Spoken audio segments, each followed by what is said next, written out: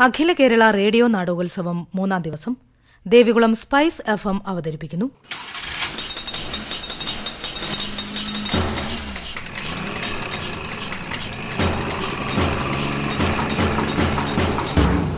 റോഡിൽ പാലിക്കേണ്ട നിയമങ്ങൾ. നാടകരചന സന്തോഷ് ഏച്ചിക്കാനം.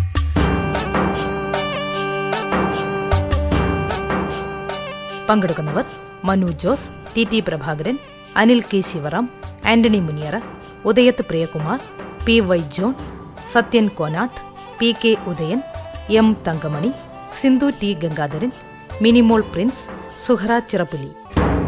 സംവിധാനം ബിജു മാത്യു.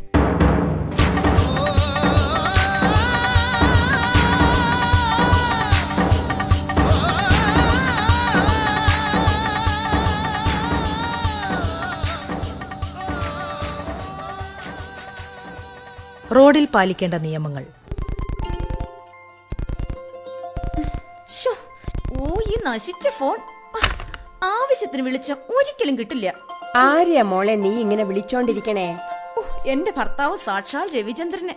അതിനവന് മൊബൈൽ ഉണ്ടോ ഈ ലോകത്ത് സ്വന്തമായി മൊബൈൽ ഇല്ലാത്ത ഒരു ഭർത്താവ് ഉണ്ടെങ്കിൽ അതെന്റെ ഭർത്താവാ. ഇന്ന് വൈകിട്ട് ഷോപ്പിങ്ങിന് പോകണം. കോളേജ് വിട്ട് അഞ്ചു മണിക്ക് മുമ്പ് എത്തണമെന്ന് ഞാൻ പ്രത്യേകം പറഞ്ഞതാ.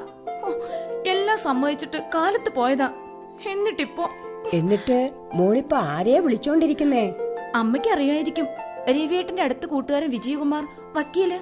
ഈ രവിക്ക് ഒരു മൊബൈൽ വാങ്ങിയാൽ എന്താ? അയ്യോ മൊബൈൽ വാങ്ങിയാൽ രവിയേട്ടൻ ഭൂഷാസിയാവില്ലേ മൊബൈൽ കുത്തക മുതലാളിത്തത്തിന്റെ ഉൽപ്പന്നല്ലേ? അത് അമ്മയ്ക്ക് അറിയില്ലേ? ഓ മണി അഞ്ചായി. ഞാൻ ഇറങ്ങാം മോളെ.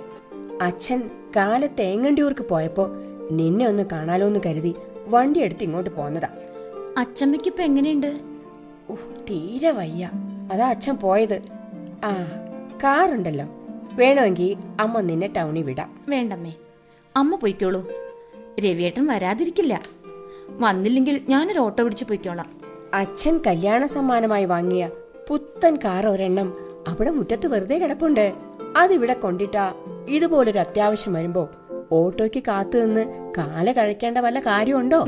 എന്റെ പൊന്നമ്മേ അതിങ്ങോട്ട് കൊണ്ടുവന്നോട്ടേന്ന് ഞാൻ എത്ര വട്ടം കെഞ്ചി നോക്കിയതാന്നറിയോ സമ്മതിക്കണ്ടേ? കാർ ഓടിച്ചു പോകുന്ന എഴുത്തുകാരൻ. വായനക്കാരെന്ത് വിചാരിക്കും? കർഷക ആത്മഹത്യക്കും റിയൽ എസ്റ്റേറ്റ് മാഫിയയ്ക്കൊക്കെ എതിരെ ധീരമായി എഴുതുന്ന ആളാ. അങ്ങനെ ഒരാൾ കാർ ഓടിച്ചു നടന്ന ഇമേജ് തകരില്ലേ? ആ രവിയാവും നീ ചെന്ന് നോക്ക്. ഹലോ? ആ അഖില ഞാനാ രേവതി ചേച്ചി. ആ. അവിടെ കറണ്ട് ഉണ്ടോ? ഇല്ല ചേച്ചി ഉച്ചയ്ക്ക് പോയതാ. നീ ഇതുവരെ ടൗണിൽ പോയില്ലേ? രവിയേട്ടൻ വന്നിട്ടില്ല. അവന്റെ ഒരു കാര്യം. എന്നാ ശരി വെക്കട്ടെ. ശരി ചേച്ചി. ആരാ മോളെ? അപ്പുറത്തെ വീട്ടിലെ ചേച്ചിയാ. ആ എന്നാ ഞാൻ ഇറങ്ങട്ടെ. ശരി അമ്മേ. നീ അവനെ കാത്തിരിക്കാതെ നേരം ഇരുട്ട് മുമ്പ് ചെല്ല്. അവനെ കാത്തിരുന്നിട്ട് ഒരു കാര്യവുമില്ല. വരും വഴി വല്ല സാഹിത്യ ചർച്ചയുണ്ടെങ്കിൽ അവനവിടെ വായും പൊളിച്ച് നിൽപ്പുണ്ടാവും. എന്നാ ശരി ഞാൻ പോട്ടെ.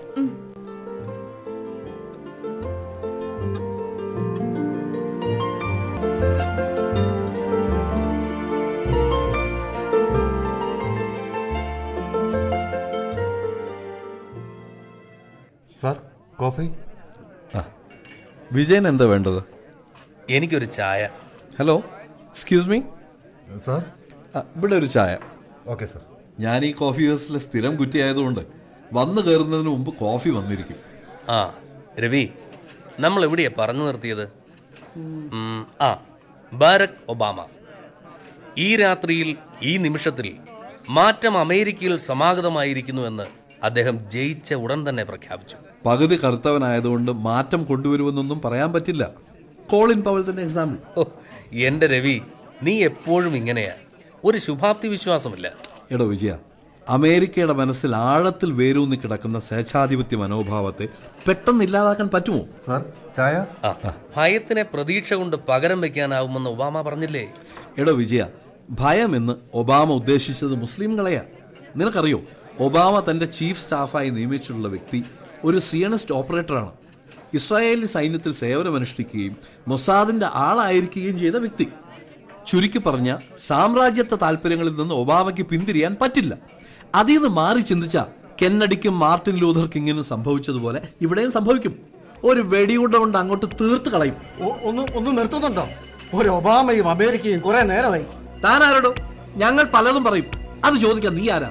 നിന്റെ ടേബിളിൽ ഇരുന്ന് നിന്നോട് തർക്കിച്ചോ? ഇല്ലല്ലോ. പോട്ടെ രവി വിട്ടേക്ക്. വിജയം മിണ്ടാണ്ടിരിക്കേ.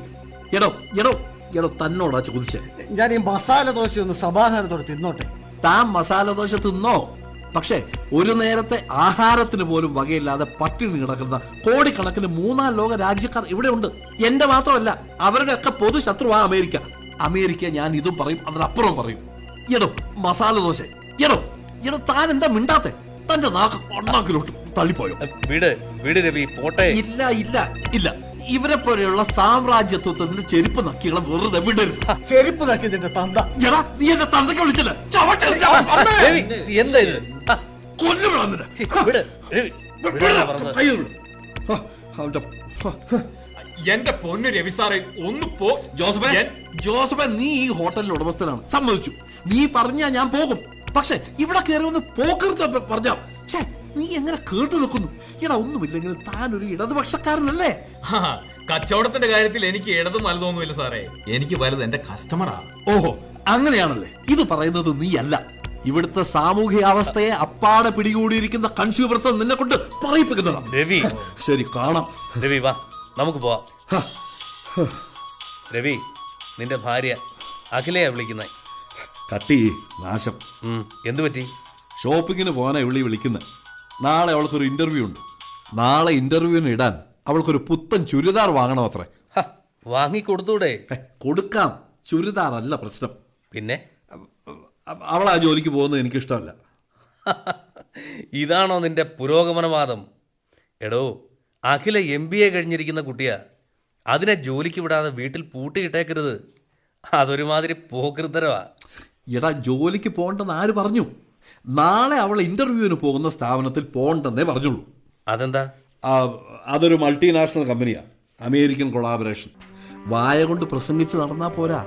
ജീവിതം കൊണ്ടും സാമ്രാജ്യത്വത്തിനെതിരായി നമ്മൾ യുദ്ധം പ്രഖ്യാപിച്ചേ തീരൂ എന്തായാലും നീ ഇന്ന് വീട്ടിൽ ചെല്ലുമ്പോ ഒരു യുദ്ധം ഉറപ്പാ.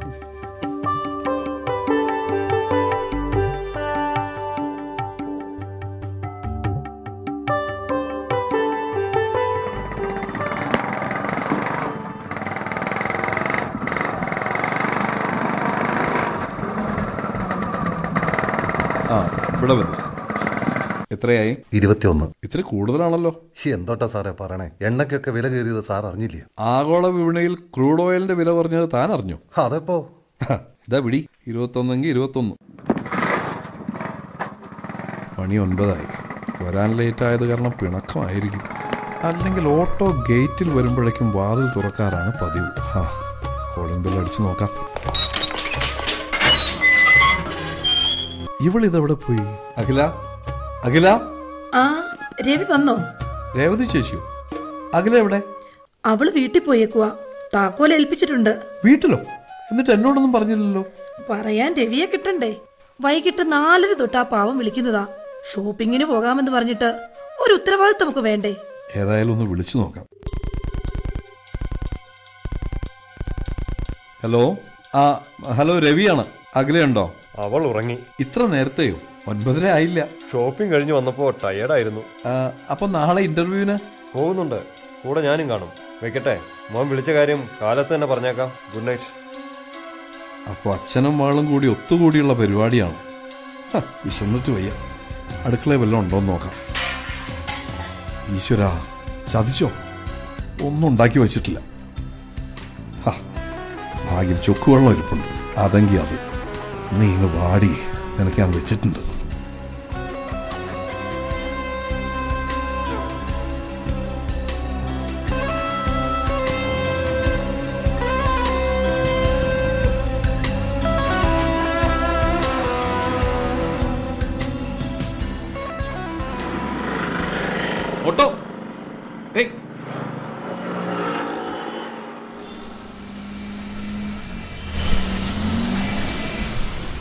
ഹലോ രവി.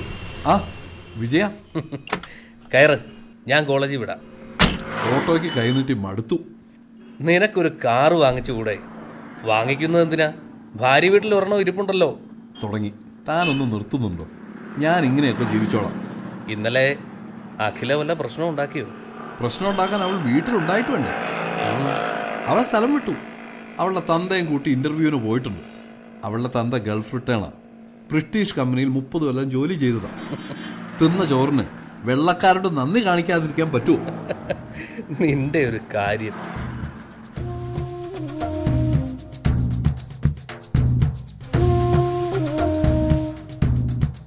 ഇന്റർവ്യൂ എങ്ങനെയുണ്ടായിരുന്നു? നന്നായിരുന്നു ചേച്ചി. ആ രവി ഇന്ന് നേരത്തെ വന്നല്ലോ. അതങ്ങനെയാ. നമ്മൾ എന്തെങ്കിലും ഒരു കാര്യം പറഞ്ഞേൽപ്പിച്ച അന്ന് വരുമ്പോ പാതിരാത്രിയാകും. ഞാൻ അങ്ങോട്ട് ചെല്ലട്ടെ. കുട്ടികൾ ട്യൂഷൻ കഴിഞ്ഞ് എത്താറായി. നീ എപ്പോ വന്നു? ഉച്ചയ്ക്ക് ഇതേതാ ഈ കാറ്? എന്റെ കാറ്? നിന്റെ കാറോ? കല്യാണ സമ്മാനമായി അച്ഛൻ എനിക്ക് വാങ്ങി തന്ന കാറ്. കല്യാണം കഴിഞ്ഞിട്ട് ഇപ്പൊ കൊല്ലം ഒന്നായി. ഇത്രയും കാലം അതവിടെ കിടന്നതല്ലേ? ഇപ്പൊ എന്തിനാ ഇതും പൊക്കി ഇങ്ങോട്ട് വന്നത്? നിന്റെ അച്ഛന്റെ കല്യാണ സമ്മാനമൊന്നും എനിക്ക് വേണ്ടെന്ന് ഞാൻ പറഞ്ഞതാണല്ലോ. പക്ഷേ എനിക്ക് വേണം. എനിക്കറിയാം. നിന്റെ കൂടെ ഇന്നലെ ഷോപ്പിങ്ങിന് വരാത്തതിന്റെ പ്രതികാരമല്ലേ? രവിയേട്ടൻ ചെന്ന് കുളിക്ക്. ഞാൻ നല്ല പാലപ്പവും ഫിഷ് കറിയും കൊണ്ടുവന്നിട്ടുണ്ട്. അമ്മയുടെ സ്പെഷ്യലാ പോരുമ്പോ രവിയേട്ടന് വേണ്ടി കുറച്ച് ഞാനും എടുത്തു. ഓ എന്റെ ഭക്ഷണ കാര്യത്തിലൊക്കെ എന്താ ശ്രദ്ധ? ഇന്നലെ നീ എന്നെ പട്ടിണി കിട്ടില്ലേ? അയ്യോ ഇന്നലെ ഒന്നും കഴിച്ചില്ലേ? കളിയാക്കണ്ട. നീ മനഃപൂർവം ചെയ്തതാ. അതെനിക്കറിയാം. എങ്കിൽ അങ്ങനെയാണെന്ന് കൂട്ടിക്കോ. രവിയേട്ടൻ എന്റെ കൂടെ ഷോപ്പിങ്ങിന് വരാന്ന് പറഞ്ഞിട്ട് ഞാൻ എത്ര കാത്തു നിന്നു? സങ്കടം വന്നിട്ടാ ഞാൻ. സങ്കടവും കണ്ണീരും ഒക്കെ നിങ്ങൾ ആണുങ്ങൾക്ക് മാത്രമല്ല പെണ്ണുങ്ങൾക്കും ഉണ്ട്.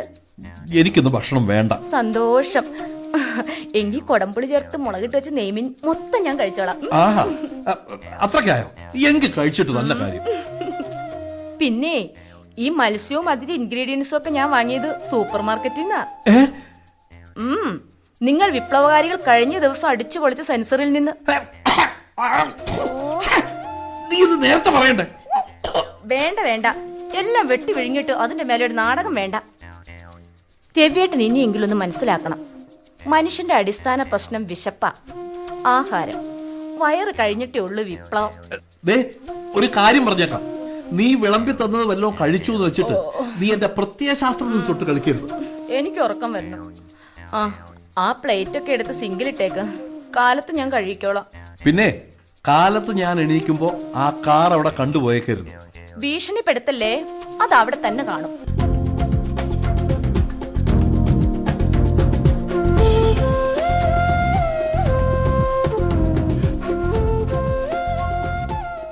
എടോ ഒന്ന് നിന്നേ.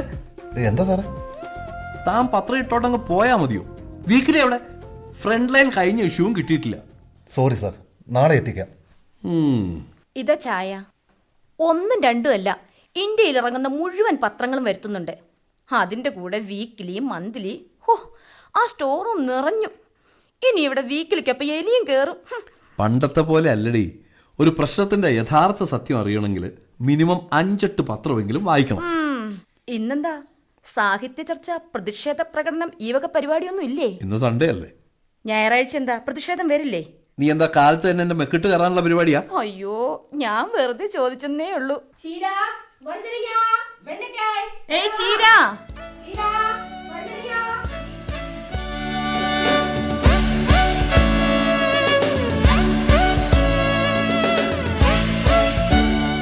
അഖില? വരുന്നു. ഞാൻ ഈ പ്രോഗ്രാം ഒന്ന് കണ്ടോട്ടെ? നമസ്കാരം. താളം മസാല നൈഫ് ആൻഡ് ഫോർക്ക് എന്ന പരിപാടിയിലേക്ക് സ്വാഗതം. ഇന്ന് നമ്മളിവിടെ ഉണ്ടാക്കാൻ പോകുന്നത് ഒരു ചിക്കൻ ഐറ്റമാണ്. ചിക്കൻ ബിന്ദാലു. ഇത് വളരെ ടേസ്റ്റിയായ ഒരു ഡിഷാണ്. ലഞ്ചിനോടൊപ്പമോ ഡിന്നറിനോ കഴിക്കാവുന്ന ഒരു ഡിഷാണ് ചിക്കൻ ബിന്ദാലു. അതെങ്ങനെ ഉണ്ടാക്കുമെന്ന് നമുക്ക് നോക്കാം. അര കിലോ ചിക്കൻ നന്നായി കഴുകി ഉപ്പും മഞ്ഞളും ചേർത്ത് കുറച്ചു നേരം വെക്കുക. ചെറിയ ഉള്ളി അരിഞ്ഞത് നീ ഇവിടെ ഇരുന്ന് കുക്കറി ഷോ കാണുകയാണ്. എപ്പൊ നോക്കിയാലും ഇതിന്റെ മുമ്പിൽ കുത്തിയിരുന്നോളൂ. മതി കണ്ടത്. ഓഫ് ചെയ്യല്ലേ? ആവശ്യത്തിന് എടി ഈ പെട്ടിക്ക് മുമ്പിൽ ഇരുന്ന് ഇങ്ങനെ ഓരോന്നിന്റെ റെസിപ്പിയും എഴുതിയെടുത്തിരിക്കാതെ എന്റെ മുറിയിലേക്ക് ചെല്ല്. അവിടെ ഇഷ്ടം പോലെ പുസ്തകങ്ങൾ ഇരിപ്പുണ്ട് മറിച്ച് നോക്ക്. എങ്കിൽ നിനക്ക് ഈ ലോകത്തെ പറ്റി കുറച്ച് വിവരമൊക്കെ വരും. നിനക്ക് ഇത്തിരി കൂടി സീരിയസ്നെസ് ഒക്കെ വരും. എനിക്ക് ഇത്രയും സീരിയസ്നെസ് മതി. ആ റിമോട്ട് ഇങ്ങ് തന്നേ. ചുമ്മാ എരിയടി ദേ പിന്നെ നീ ഒന്ന് ആലോചിക്കണം. നീ ഇപ്പൊ വെറും അഖിലയല്ല. പിന്നെ? രവിചന്ദ്രന്റെ ഭാര്യയാണ്. അയാൾ ഒരു ഫിലോസഫി അധ്യാപകനും എഴുത്തുകാരനുമാണ്. പക്ഷേ ഞാൻ അഖിലയാണ്. എടി എന്റെ അഞ്ചക്ക ശമ്പളത്തിന്റെ തണലത്ത് നിൽക്കുമ്പോൾ നിനക്കൊക്കെ ജീവിതം കോണ്ടിനെന്റൽ ഡിഷ് പോലെ രുചികരമായിട്ട് തോന്നും. ഉപരിവർഗത്തിന്റെ ഒരു പൊതു സ്വഭാവം.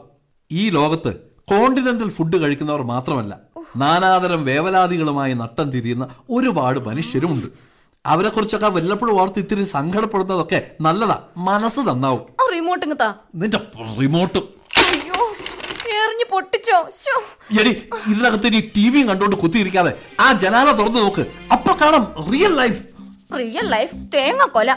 അങ്ങനെ രേവതി ചേച്ചിയുടെ വീട് കാണാം. കാര്യം പറയുമ്പോ കളിയാക്കുന്നോടി. അടിച്ചു നിഞ്ചം. അടിച്ചു നോക്ക്. അപ്പൊ കാണാം. കൊറേ നേരമായല്ലോ നിങ്ങൾ ഇവിടെ കിടന്ന് ഷോ കാണിക്കാൻ തുടങ്ങിയിട്ട്. എഴുത്ത് വായന സമൂഹം പ്രതിബദ്ധത. എനിക്കിതൊന്നും അറിയില്ല. സമ്മതിച്ചു. എങ്കിൽ ഞാനൊന്ന് ചോദിക്കട്ടെ? നിങ്ങൾക്ക് കാർ ഓടിക്കാൻ അറിയാമോ? ഫ്യൂസ് ആയ ബൾബ് മാറ്റിയിടാൻ അറിയാമോ? ഇന്റർനെറ്റ് വഴി ഒരു ടിക്കറ്റ് റിസർവ് ചെയ്യാൻ അറിയാമോ?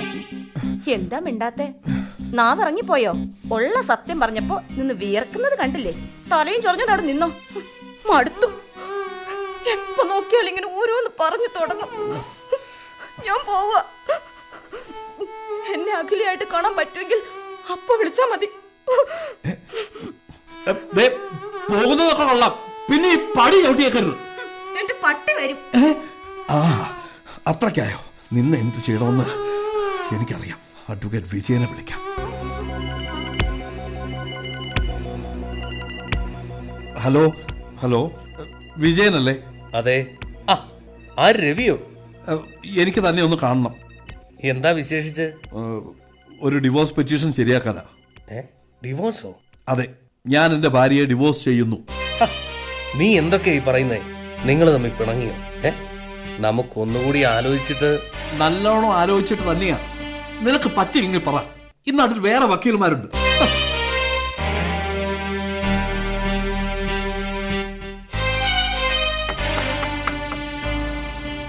അഖിലാജി നായർക്ക് ഒരു രജിസ്റ്റേർഡ് ഉണ്ട് അഖിലയാണോ? അതെ. ആ ഇവിടെ ഒപ്പിട്ടോളൂ. ഓക്കെ. Okay thanks. എന്താ മോളെ? ഒരു രജിസ്ട്രേഡ് ലെറ്റർ അമ്മേ. കഴിഞ്ഞ ആഴ്ച നടന്ന ഇന്റർവ്യൂവിന്റെ അപ്പോയിന്റ്മെന്റ് ലെറ്റർ വലുതാണോ മോളെ? നോക്കട്ടെ. ഇതൊരു വക്കീൽ നോട്ടീസ് അമ്മേ. ഏ? വക്കീൽ നോട്ടീസോ? രവിയേട്ടൻ അയച്ചതാ ഡിവോഴ്സ് നോട്ടീസ്. അയ്യോ. നിങ്ങൾ ഇത് കണ്ടോ? രവി അയച്ചേക്കണതാ. ഒന്ന് വായിച്ചു നോക്ക്. ഏ? ഇവനിത് എന്തിന്റെ കേടാ? ചെറിയൊരു വഴക്കുണ്ടായി എന്ന് വെച്ച്.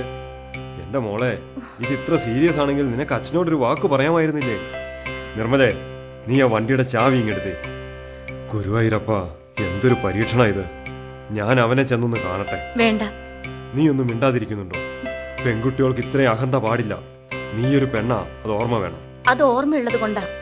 ഒരു വർഷം ഞാൻ രവിയേട്ടന്റെ കൂടെ ജീവിച്ചത്. ഞാൻ അദ്ദേഹത്തെ ജീവന് തുല്യം സ്നേഹിച്ചിട്ടുണ്ട്. വെച്ച് വിളമ്പി കൊടുത്തിട്ടുണ്ട്. പക്ഷേ രവിചന്ദ്രൻ എന്ന എഴുത്തുകാരന് വേണ്ടി ഇനി സാഹിത്യം പ്രാക്ടീസ് ചെയ്യാൻ എന്നെ കിട്ടില്ല. രവിചന്ദ്രൻ വലിയ ആളാ ഫിലോസഫറാ പക്ഷേ എനിക്കൊരു ഫിലോസഫി ഉണ്ട്. നന്നായി ഭക്ഷണമൊക്കെ കഴിച്ച് ഭർത്താവിനെയും കുട്ടികളെ നോക്കി മുറ്റത്തെ ചെടികളൊക്കെ നനച്ച് വീട് വൃത്തിയായി നോക്കി സുഖമായിട്ട് കഴിയുക. അഖില അഖിലയാണ് രവിചന്ദ്രൻ. രവിചന്ദ്രനും. എന്നെ വേണ്ടാത്തയാളെ എനിക്കും വേണ്ട. മോളെ. വശി പിടിക്കുന്ന മോളെ? അഖില തീരുമാനിച്ച തീരുമാനിച്ചതാ. ആ ലെറ്റർ അങ്ങതാ ഒപ്പിട്ട് കൊടുത്തേക്കാം.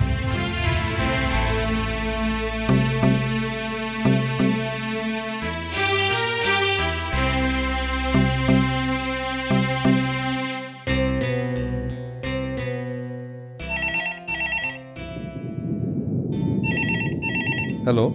ആ. ഞാൻ വിജയനാണ്. പറ വിജയ. തന്നെ പുറത്തേക്കൊന്നും കാണാനില്ലല്ലോ. ഇന്ന് വൈകിട്ട് നിന്റെ കോളേജിലെ മാലിന്യ ടീച്ചറെ കണ്ടപ്പോഴാ വിവരം അറിഞ്ഞത്. നീ ലോങ് ലീവിലാണെന്ന് കേട്ടു. ആ ആ ഡിവോഴ്സ് കഴിയും വരെ അങ്ങനെ ആവാന്ന് വെച്ചു. അപ്പോ നിന്റെ തീരുമാനത്തിൽ മാറ്റമില്ല. ഇല്ല. അപ്പൊ ഭക്ഷണമൊക്കെ? ഒരാഴ്ചയെ പുറത്തു വന്നാ തീരെ ശരിയാവുന്നില്ല നീ വിളിക്കുമ്പോഴൊക്കെ ഞാൻ ലാറ്ററിലായിരുന്നു. ഞാൻ കുറേ തവണ ട്രൈ ചെയ്തു. ആകെ പ്രശ്നത്തിലാണ് വിജയം ഞാൻ തന്നെ വല്ലതും വെച്ചുണ്ടാക്കിയാലോ എന്ന് ആലോചിക്കുക. അതാ നല്ലത്.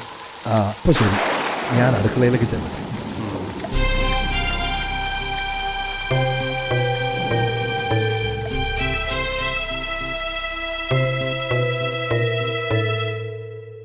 ഗ്യാസ് എങ്ങനെ കത്തിക്കും? ഓ ഒരു പിടിയുമില്ല. നോക്കാം. ഛേ. ഈ തീപ്പട്ടിയാണെങ്കിൽ കത്തുന്നുമില്ല. ഓ കത്തി. ഗ്യാസിന്റെ ഈ നോബ് ഇടത്തോട്ടോ വലത്തോട്ടോ?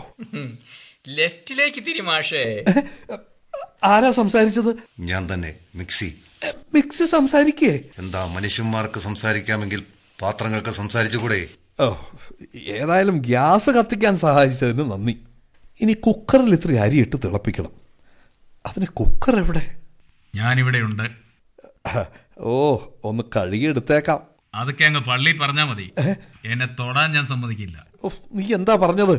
എനിക്ക് വിശക്കുന്നു. താൻ ചെന്ന പെങ്കൊച്ചിനെ വിളിച്ചോണ്ട് വാ. എന്നിട്ട് നമുക്ക് ആലോചിക്കാം. അതെന്റെ കുടുംബക്കാരി നീ അതിൽ ഇടപെടണ്ട. അത് കള സാറേ. നിങ്ങൾക്ക് വേണ്ടി ഒരുപാട് കഞ്ഞി വേവിച്ചയാളാ ഞാൻ. ഏത് നേരത്തും ടി വി കാണുകയും തിന്നുകയും സൂപ്പർ മാർക്കറ്റുകളിൽ കറങ്ങി നടക്കുകയും ആഴ്ചപ്പതിപ്പുകളിലെ റെസിപ്പി വെട്ടിയെടുത്ത് പാചക കസർത്ത് നടത്തുകയും ചെയ്യുന്നതാണ് ജീവിതമെന്ന് വിചാരിക്കുന്ന ഒരു പെണ്ണിന്റെ കൂടെ. ഇങ്ങനെ എത്ര നാൾ എനിക്ക് കഴിയാനൊക്കും? അഖില ചോദിച്ചതിൽ എന്താ തെറ്റ്? തനിക്ക് കാർ ഓടിക്കാൻ അറിയാമോ?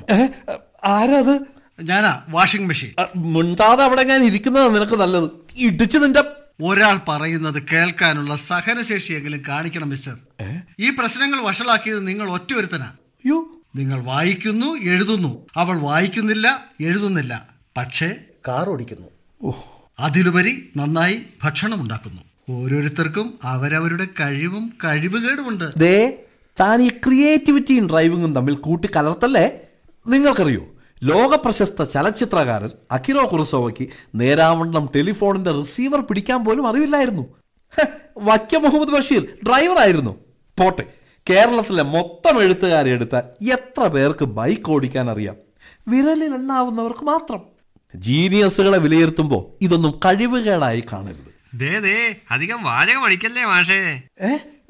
അതാരാ? നോക്കണ്ട ഞാൻ ചീനച്ചട്ടിയാ വണ്ടി ഓടിക്കാൻ ഇതിന് കഴിവ് ധൈര്യമൊക്കെ വേണം. നിങ്ങളെ പോലുള്ള സ്വപ്നജീവികളായ എഴുത്തുകാർക്ക് ഇവ രണ്ടും ഇല്ല. ചപ്പാത്തി ഉണ്ടാക്കുമ്പോ അഖില കൊച്ചു ഞങ്ങളോട് ഇതൊക്കെ പറഞ്ഞിട്ടുണ്ട്. ആഹാ അവൾ ഇതൊക്കെ നിങ്ങളോട് പറഞ്ഞു. തൊട്ടും പിടിച്ചും കഴുകി വെളുപ്പിച്ചും നിലത്തിട്ട് ചിരിപ്പിച്ചും അവൾ നിങ്ങളെയൊക്കെ വശീകരിച്ചു കഴിഞ്ഞല്ലോ. നിങ്ങൾ പാത്രങ്ങൾ സാധാരണ പെണ്ണുങ്ങളെ പോലെയാണ്. പുറമേയുള്ള ഇത്തരം ഇക്കിളി മതി. ആഴത്തിലുള്ള ചിന്തകളോ സ്നേഹമോ മനസ്സിലാക്കാനുള്ള സെൻസിബിലിറ്റി നിങ്ങൾക്കില്ല. ഉണ്ടെങ്കിൽ നിങ്ങൾ അഖിലയുടെ കൂട്ടുപിടിച്ച് ഇമാതിരി വർത്തമാനം പറയില്ല. ഒന്ന് പോ മാഷേ. ഡ്രൈവിംഗ് പഠിച്ചിട്ട് വാ. എന്നിട്ട് ഡയലോഗ് അടിക്കേ. ഞങ്ങളുടെ അഖില കൊച്ച് ഡ്രൈവ് ചെയ്തോണ്ടിരിക്കുമ്പോ സൈഡ് സീറ്റിൽ ഇരിക്കാനുള്ള മടി. കോംപ്ലക്സ് അതൊക്കെ കൊണ്ടല്ലേ സ്ത്രീധനം കിട്ടിയ വണ്ടി പോലും വേണ്ടാന്ന് വെച്ചത്? ഓ ഇത് വലിയ ശല്യമായല്ലോ. നിന്നെ ഞാൻ എനിക്ക് നിങ്ങളെ ഭക്ഷണം വേണ്ട. പോലെ അകലയുടെ കുറെ ആരാധകർ വന്നിരിക്കുന്നു. ഡ്രൈവിംഗ് എനിക്ക് പുല്ല. ഞാനത് പഠിച്ചിരിക്കും. ചെല്ല് ചെല്ല്. പഠിച്ചേച്ചു വാ. എന്നിട്ട് നമുക്ക് കാണാം. ഓ നമുക്ക് കാണാം.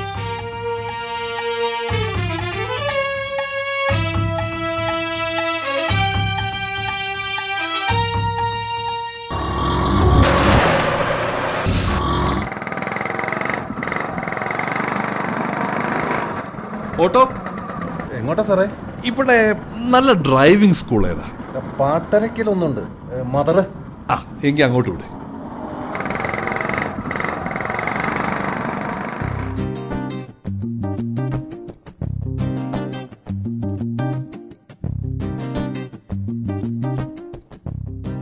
ഇതാണ് മദർ ഡ്രൈവിംഗ് സ്കൂൾ രമേഷ് ഏട്ടാ ഒരു കസ്റ്റമറെ കൊണ്ടുവന്നിട്ടുണ്ട് കേട്ടോ കമ്മീഷൻ തന്നേക്കണം.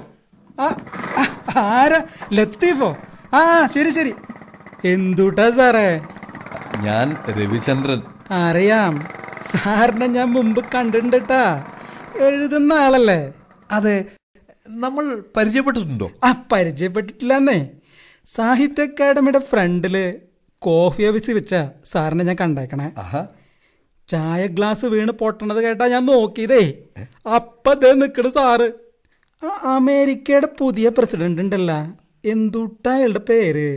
ആ ഒബാമ. ആ പേരും പറഞ്ഞ് സാർ അവിടെ ഇരുന്ന് ഒരുത്തന്റെ കരുത്തുമ പിടിച്ചൊരു ഒരു തള്ളാതള്ളി കൗണ്ടറിന്ന് ജോസഫ് വന്ന് പിടിച്ചപ്പോഴാ സാറടങ്ങിയേ സാധാരണ നമ്മളെന്നും പോലെ അല്ലല്ലോ. ഈ ബുദ്ധിജീവികളുടെ പിടിവിട്ടാ മിരുക്കാൻ ഇത്തിരി പാടാ. സാറിന് കാറോ അതോ ടൂ വീലറാ കാറ്. വണ്ടി ഓടിക്കണതൊക്കെ ഒരു സ്കില്ലാ സാറേ. എന്നാലും പറയാതിരിക്കാൻ പറ്റില്ല കേട്ടാ സാറ് തെറ്റിദ്ധരിക്കരുത്. പത്തിരുപത്തഞ്ച് കൊല്ലത്തെ എന്റെ എക്സ്പീരിയൻസ് വെച്ചിട്ട് പറയാം. ഈ ലോകത്ത് ഡ്രൈവിംഗ് പഠിപ്പിക്കാൻ പറ്റാത്ത രണ്ടേ രണ്ട് ജാതികളുള്ളൂ കേട്ടാ ഒന്ന് മന്ദബുദ്ധികൾ മറ്റത് ബുദ്ധിജീവികൾ ആദ്യത്തെ കൂട്ടർക്ക് ഒരു വസ്തു അറിയില്ല. അതുകൊണ്ട് നോ കൺഫ്യൂഷൻ മറ്റവർക്കാണെങ്കിൽ സംശയം ഒഴിഞ്ഞിട്ട് നേരമില്ല ഫലം രണ്ടും ഒന്നാ. വണ്ടി എവിടെയെങ്കിലും കൊണ്ടുപോയി അടിക്കും. അത്ര തന്നെ അഡ്വാൻസ്. അതൊക്കെ ഞാൻ വാങ്ങിച്ചോളാം. നാളെ കാലത്ത് തുടങ്ങാം. സാറിന്റെ വീടൊക്കെ എനിക്കറിയാട്ടാ. ശരി.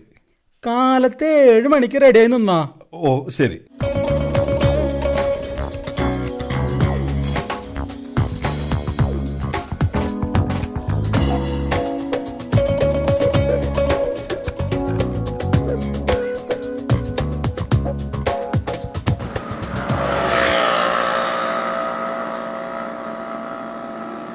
രാമകൃഷ്ണൻ എത്തിയില്ലല്ലോ.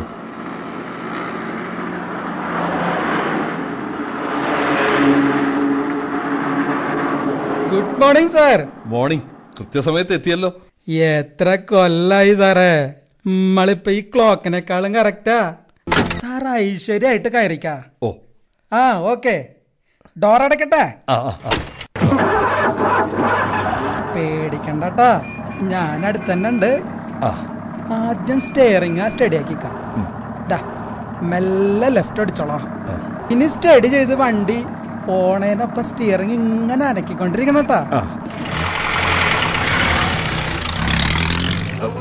എന്തത്? സാറ് ഇവിടെ ശ്രദ്ധിക്ക്. വണ്ടി പൊക്കോണ്ടിരിക്കുമ്പോ അവിടെ കണ്ണിന്റെ പോയിന്റ് കാറിന്റെ അമ്പത് വേറെ ഫ്രണ്ടിലായിരിക്കണം കേട്ടാ. എന്നാലേ വണ്ടിയുടെ ഡയറക്ഷൻ മനസ്സിലാവുള്ളോ. അയ്യോ ഒരു ടെമ്പോ ലെഫ്റ്റ് അടിക്ക് സാറേ. അയ്യോ!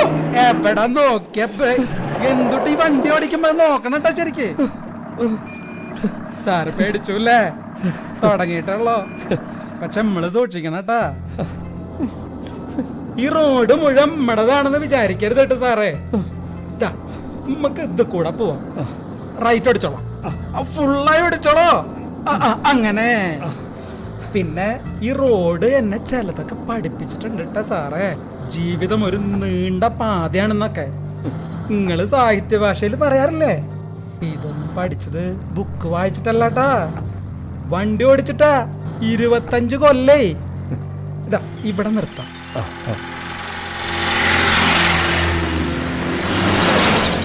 ലതാ മേഡം കയറാനുണ്ട് കേരളവർമ്മയിലെ ഇംഗ്ലീഷ് ടീച്ചർ ലേണേഴ്സ് ടെസ്റ്റ് എഴുതി രണ്ട് മാസം കഴിഞ്ഞു. ഇപ്പോഴും സ്റ്റിയറിംഗ് സ്റ്റഡി ആയിട്ടില്ല കേട്ടാ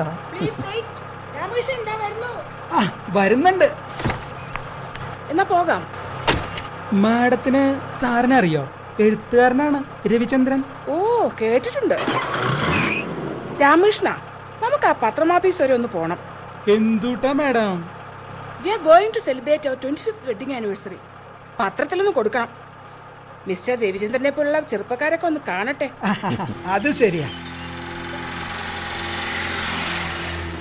ആ രവി സാറ് മാറിക്കോളാം. ഓ മേഡം ഇരുന്നോളാം. ഞാനിവിടെ ഇറങ്ങിക്കോളാം. ഞാൻ വീട്ടിൽ വിടാൻ സാറേ. അല്ല എനിക്ക് എന്റെ ഒരു ഫ്രണ്ട് എന്നെ ഒന്ന് കാണണം അഡ്വക്കേറ്റ് വിജയനെ. ആ ശരി ശരി.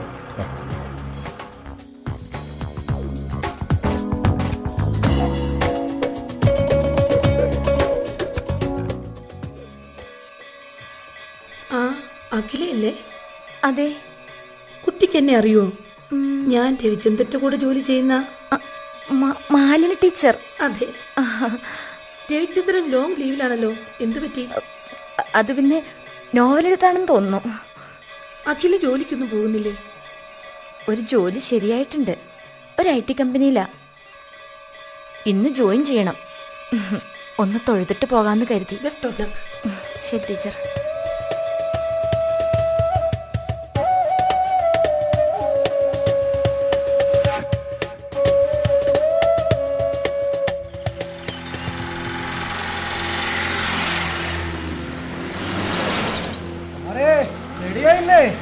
പിന്നെ നമുക്ക് പോകാം.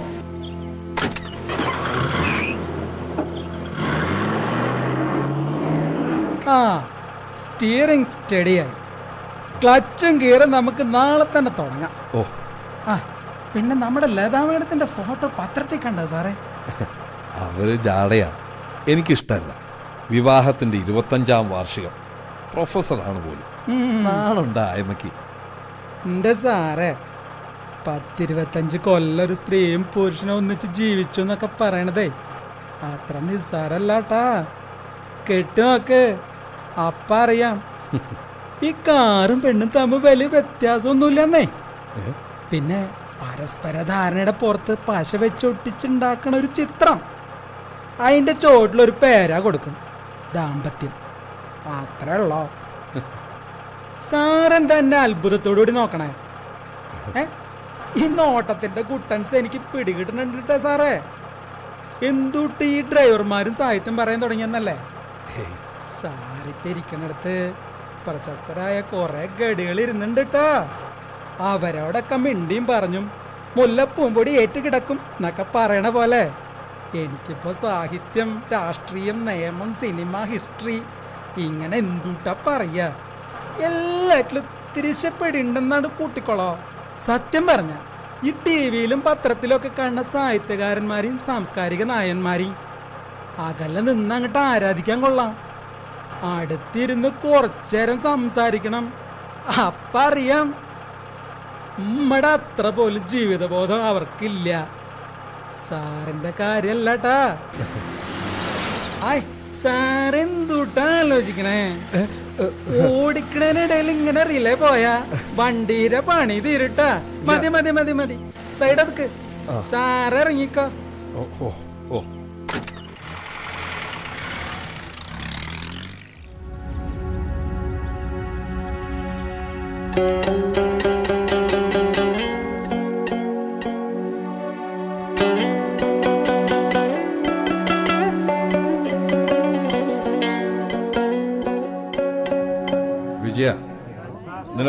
നിനക്കൊന്നുകൂടെ ഓ മതിയല്ലോ. കൂടിയ പെണ്ണും പിള്ള വഴക്ക് പറയും. നിനക്ക് പിന്നെ എത്രയാവാം. അത് നീ എനിക്കിട്ടൊന്ന് കുത്തിയതാണല്ലോടാ. ആ നിന്റെ ഡിവോഴ്സ് കേസിന്റെ വക്കാലത്ത് എനിക്ക് സമ്മതിച്ചു. കേസ് ഞാൻ വാദിക്കും. പക്ഷേ നീ ഒന്നുകൂടി ആലോചിക്കും. അതൊക്കെ ഞാൻ ആലോചിച്ചോ. നീ മതിക്ക് പോകാൻ നോക്കും. മണി പത്തായി. കാലത്ത് രാമകൃഷ്ണൻ വരും. നാളെ എനിക്ക് ക്ലച്ചും ഗിയറും തുടങ്ങേണ്ടതാണ്. അവന്റെ ഒടുക്കത്തെ ക്ലച്ചും ഗിയറും ആദ്യം സ്വന്തം ജീവിതത്തിന്റെ ക്ലച്ചും ഗിയറും ഉണ്ടാക്കാൻ നോക്കണം. അല്ല പിന്നെ. ഏ ഞാൻ പോവാ. നടക്കട്ടെ നിന്റെ ഡ്രൈവിംഗ് പരിശീലനം. Okay? Good night. Good night.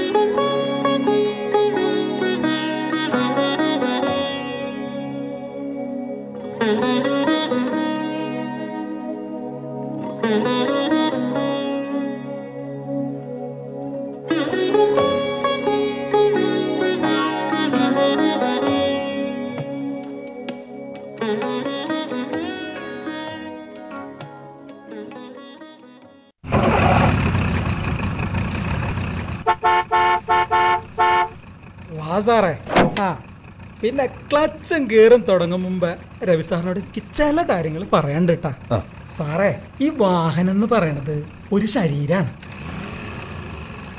എന്താ രാമകൃഷ്ണ തനി പറയണേ? വാഹനം ശരീരോ? അതെന്ന്. എഞ്ചിനാണ് ഹാർട്ട്. ഓയിൽ ട്യൂബിനെ രക്തക്കുഴൽ എന്ന് പറയും. ഇനി സാറ് ക്ലച്ചിൽ നിന്ന് മെല്ലെ കാലുകൾ വിട്ടാ. ആ, ആ, ആ, അങ്ങനെ. ഇനി ഓടിക്കൊണ്ടിരിക്കുമ്പോ വണ്ടി സംസാരിക്കും. സംസാരിക്കൂ. ആന്നേ സംസാരിക്കും. സാറ് ശ്രദ്ധിച്ചോളോ. ഒരു കയറ്റം വരാൻ പോവാണ് സാറ് നോക്കിക്കോ. വണ്ടിയുടെ ശബ്ദം മാറിയത് കേട്ടാ. കേട്ടു.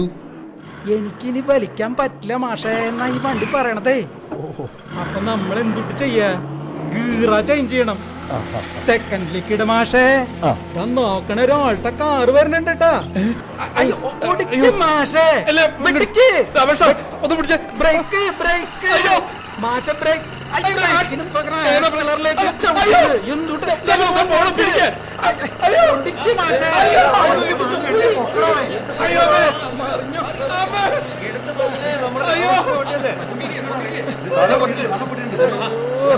അയ്യോ.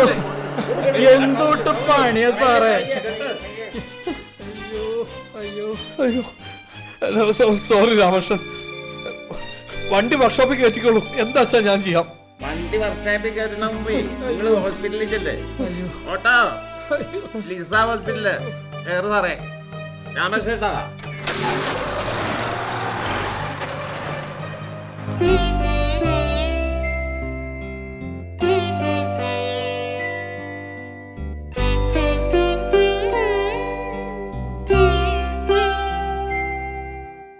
എക്സ്റേയിലൊന്നും കുഴപ്പമില്ല. ഡെയിലി ഡ്രസ്സ് ചെയ്യണം. ഓ. പിന്നെ രണ്ട് ടാബ്ലറ്റ് എഴുതിയിട്ടുണ്ട്. അത് കഴിച്ചാൽ മതി. ഓക്കെ താങ്ക് യു ഡോക്ടർ വരട്ടെ സാറേ. ആ ശരി.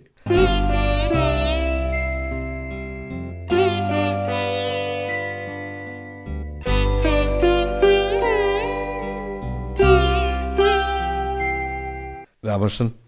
എന്തോട്ടാ സാറേ? ഞാൻ കാരണം തനിക്ക് കുറച്ച് നഷ്ടമുണ്ടായി എന്തുകൊണ്ടാണ് അങ്ങനെ സംഭവിച്ചതെന്ന് രാമകൃഷ്ണൻ അറിയണം. വാ നമുക്ക് ഓരോ കപ്പ് കാപ്പി കഴിക്കാം. കുറച്ച് ദിവസമേ ആയുള്ളൂവെങ്കിലും എന്റെ പ്രശ്നങ്ങളൊക്കെ തുറന്നു പറയാൻ പറ്റുന്ന ഒരാളാണ് രാമകൃഷ്ണൻ എന്ന് എനിക്ക് മനസ്സിലായി. താൻ ഒരു വെറും ഡ്രൈവർ അല്ലടോ.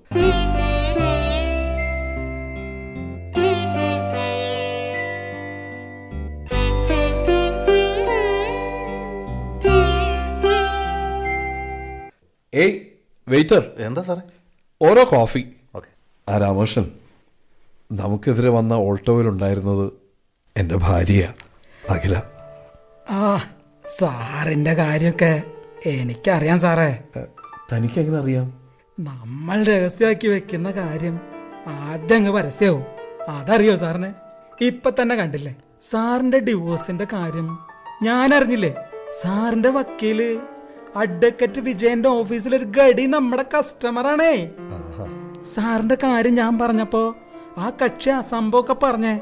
സാർ ഇതിൽ ബേജാറാവേണ്ട കാര്യമൊന്നുമില്ല. പക്ഷെ ഞാനൊരു കാര്യ പറയാം. ഒരാളെ പോലെ മറ്റൊരാൾ ജീവിക്കണം എന്നാ പറഞ്ഞ.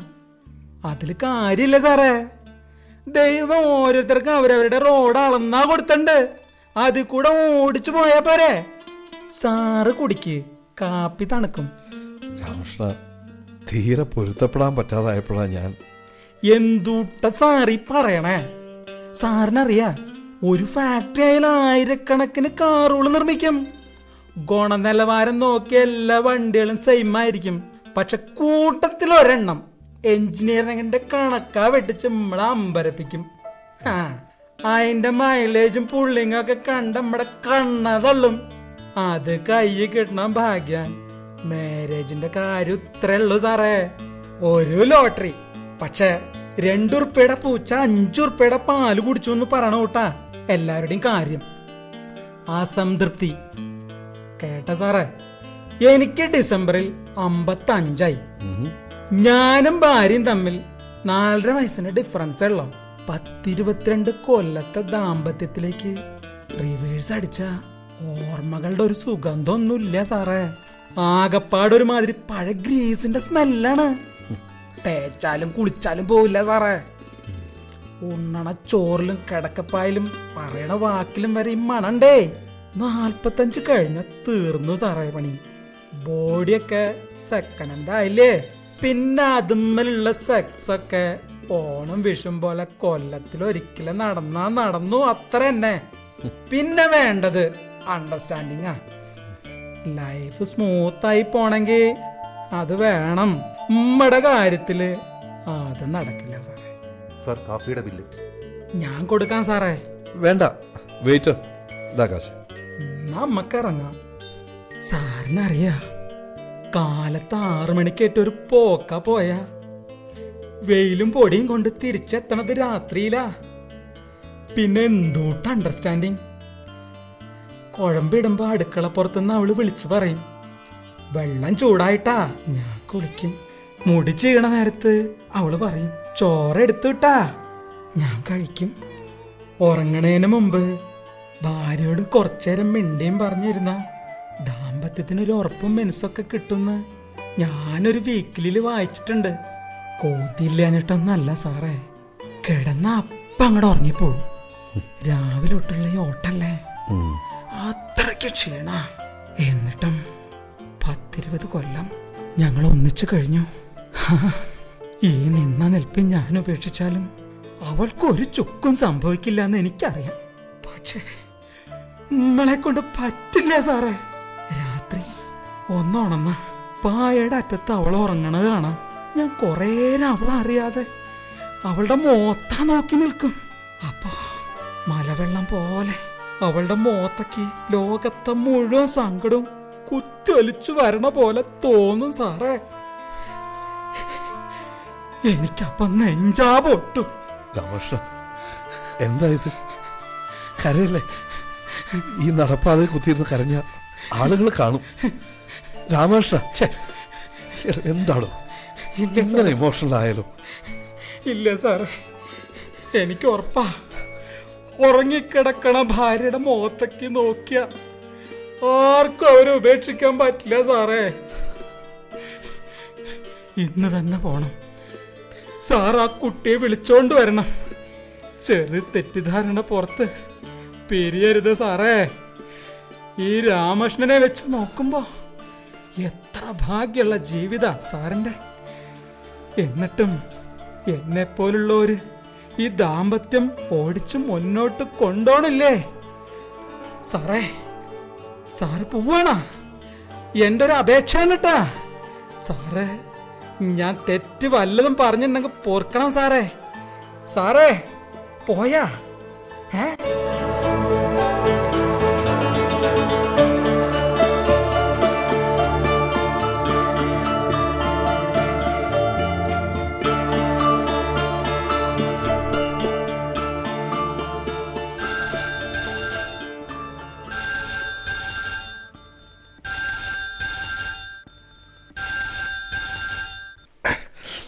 ആരെ രാത്രിയിൽ ഹലോ? ഹലോ രവി. ഇത് ഞാനാ അഡ്വക്കേറ്റ് വിജയൻ. ആ വിജയ. എന്താ? രണ്ടാഴ്ചയായി താൻ എവിടെയായിരുന്നു? ഫോൺ വിളിച്ചാൽ അറ്റൻഡ് ചെയ്യാറില്ല. ഒന്ന് രണ്ട് തവണ ഞാൻ വീട്ടിലേക്ക് വന്നപ്പോഴും നീയില്ല. ഞാൻ അവിടെ ഒരു ലെറ്റർ എഴുതി വെച്ചിരുന്നു. കിട്ടിയോ? ഓ കിട്ടി. നിന്റെ ഡിവോഴ്സ് കേസിന്റെ ഹിയറിംഗ് നാളെയാണ്. അറിയാം. കാലത്ത് പത്ത് മണിക്ക് നീ വക്കീൽ ഓഫീസിലെത്തണം. ആ താൻ ഡ്രൈവിംഗ് ടെസ്റ്റ് പാസ്സായി എന്ന് കേട്ടു. നമ്മുടെ ഓഫീസിലെ ജൂനിയർ അഡ്വക്കേറ്റാ പറഞ്ഞത്. പുള്ളി മദർ ഡ്രൈവിംഗ് സ്കൂളിൽ ആ എനിക്കറിയാം. രാമകൃഷ്ണൻ പറയാറുണ്ട്. ലൈസൻസ് കിട്ടിയോ? കിട്ടും. നാളെ. ആ അപ്പൊ കാലത്ത് കാണാം. Good night good night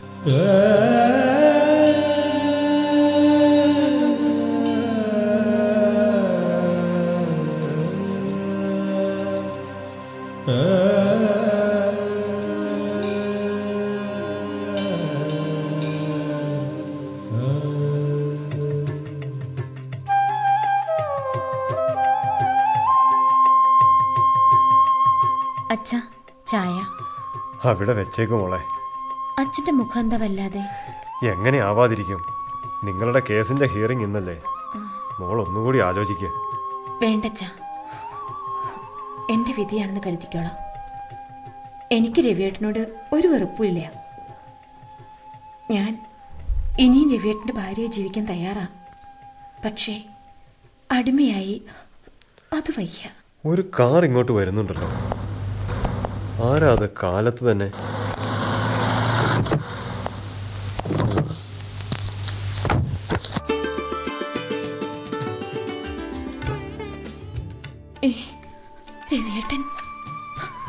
Ravi മോനെ വരൂ കയറിയിരിക്കൂ. നിർമ്മലേ രവി വന്നൂട്ടോ? ആരാത് രവിയോ? എന്താ എല്ലാവരും എന്നെ മുൻപ് കാണാത്തതുപോലെ? ഞാൻ വന്നത് അകലെ കൊണ്ടുപോകാനാണ്. എന്നെ ഉപേക്ഷിക്കാൻ പോവുക അല്ലേ? നിന്നെ എനിക്ക് അങ്ങനെ ഉപേക്ഷിക്കാൻ പറ്റുമോ നിങ്ങൾ സംസാരിക്കുക ഞങ്ങൾ അപ്പുറത്തുണ്ട്. നിർമ്മലേ രവിക്ക് കുടിക്കാൻ എടുക്ക. വേഗം ചെല്ല്. ഡ്രൈവിംഗ് പഠിച്ചു അല്ലേ? പഠിച്ചു. അതിന്റെ കൂടെ ജീവിതവും പഠിച്ചു. എനിക്ക് ഒരുപാട് തെറ്റുപറ്റി. കുറേ പുസ്തകം വായിച്ചു കൂട്ടി എന്നല്ലാതെ ലൈഫ് എന്താണെന്ന് എനിക്ക് അറിയില്ലായിരുന്നു ഞാനും രവിയേട്ടനോട് വഴക്ക് കൂടിയിട്ടുണ്ട്. കഴിഞ്ഞതൊക്കെ നമുക്ക് മറക്കാം. ഇത് പുതിയ കാറാണ്. കാലത്ത് ഷോറൂമിൽ നിന്ന് എടുത്തു. തെറ്റിദ്ധാരണകൾ മറന്ന് നമ്മളൊരു പുതിയ ജീവിതത്തിലേക്ക് കയറുന്നു. വാ നമുക്കിറങ്ങാം. ഞാൻ ഉടുപ്പൊന്ന് മാറ്റട്ടെ. ഏയ് ഉടുപ്പ് ഒന്ന് വന്നേടി. ഏയ് രവിയേട്ട എടുത്ത് പൊക്കല്ലേ? അയ്യോ അമ്മ കാണും. പിന്നെ? രവി ചായ കുടിച്ചിട്ട് പോ. എന്റെ മക്കളെ. ചായയൊക്കെ പിന്നെ. ഞങ്ങൾ ഈ പുതിയ കാറിൽ ഒന്ന് ചുറ്റി വരട്ടെ. സാഹിത്യകാരന്മാർക്കും കാർ ഓടിക്കാൻ പറ്റുമെന്ന് എന്റെ ഭാര്യ ഒന്ന് കാണിച്ചു കൊടുക്കണമല്ലോ. വാ കേറടി.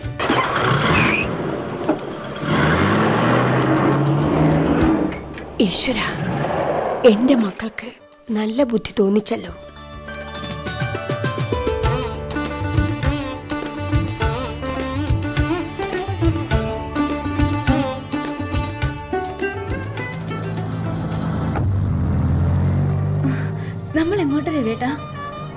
എത്തിയല്ലോ അതൊക്കെ പറയും. രവിയേട്ടൻ ആദ്യമായി വാങ്ങിയ കാറല്ലേ? ഒന്ന് പൂജിക്കാൻ കൊടുക്കണ്ടേ? എനിക്ക് ദൈവവിശ്വാസം ഇല്ലാന്നറിയാലോ എന്നാലും ഒരു എന്നാലും ഇല്ല നമ്മൾ ഈ കാർ പൂജിച്ചിരിക്കും. ഞാൻ പേടിച്ചു പോയി. അപ്പോ അഖില പറയുന്നത് അനുസരിക്കും അല്ലേ?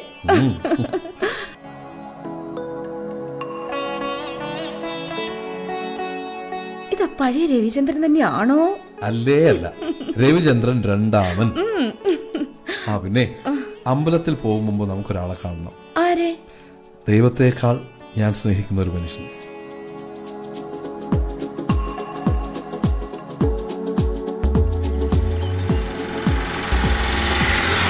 ആ ഇതാ ഇതാണ് അവൻ. അത്? അതൊക്കെ പറയാം. നീ ഇറങ്ങ്. പുള്ളി വീടിനകത്തുണ്ടോ ആവോ? വിളിച്ചു നോക്കാം. രാമകൃഷ്ണൻ? രാമകൃഷ്ണൻ? അയ്യോ ആരാത്? സാറോ വരൂട്ടോ. ചെറിയ വീടാ. ഇരിക്കാൻ. എടിയേ ഒരു കസേര.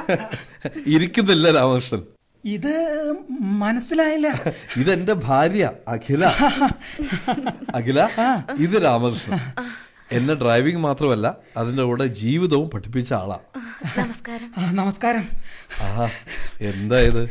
രാമകൃഷ്ണന്റെ കണ്ണു നിറഞ്ഞല്ലോ. സന്തോഷം കൊണ്ടാ സാറേ. ഈ കുട്ടിയും സാറിനെയും ഒരുമിച്ച് കണ്ടതിലുള്ള സന്തോഷം. സാറിന്റെ ഡ്രൈവിംഗ് ലൈസൻസ് കിട്ടിയിട്ടുണ്ട്. ദാ ദാ വെച്ചോളോ. ഇത് വെറും ലൈസൻസ് അല്ല രാമകൃഷ്ണ. എന്റെ ജീവിതത്തിന്റെ ലൈസൻസാ ഇത് വാങ്ങേണ്ടത് ഞാനല്ല ഇവളാ. അത് ശരിയാ. ഇത് അഖിലയുടെ കയ്യിൽ കൊടുത്തോളൂ. ഐശ്വര്യായിട്ട് അങ്ങോട്ട് വാങ്ങിക്കോളൂ കുട്ടിയെ. അങ്ങനെ. അപ്പോ ഞങ്ങൾ ഇറങ്ങട്ടെ ശരി സാറേ. നന്നായി വരട്ടെ. ആ.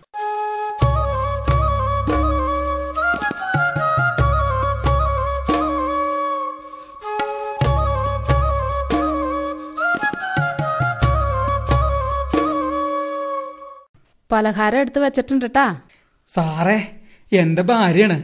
ഉമ്മക്ക് ഇറങ്ങാൻ നേരായിട്ടാ. ആ സാറേ പിന്നെ ഞാൻ പറഞ്ഞ കാര്യം ഓർമ്മയുണ്ടല്ലോ. ദൈവം ഓരോരുത്തർക്ക് അവരവരുടെ റോഡ് അളന്നാ കൊടുത്തിട്ടുണ്ട്. അതിൽ കൂടെ തന്നെ ഓടിച്ചു പോണേ. ഓക്കെ രാമകൃഷ്ണ. ആ. റോഡിലെ എല്ലാ നിയമങ്ങളും ഇനി പാലിച്ചിരിക്കും.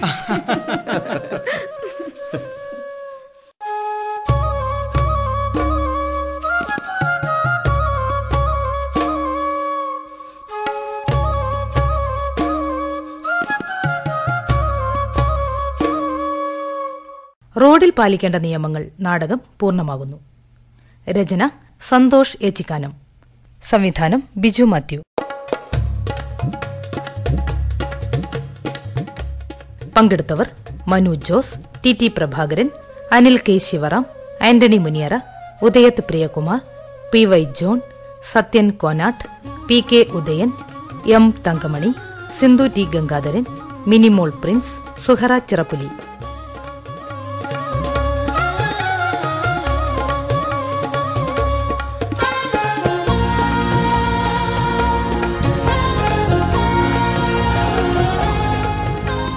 റോഡിൽ പാലിക്കേണ്ട നിയമങ്ങൾ. ഒരു ദേവികുളം സ്പൈസ് എഫ് അവതരണം.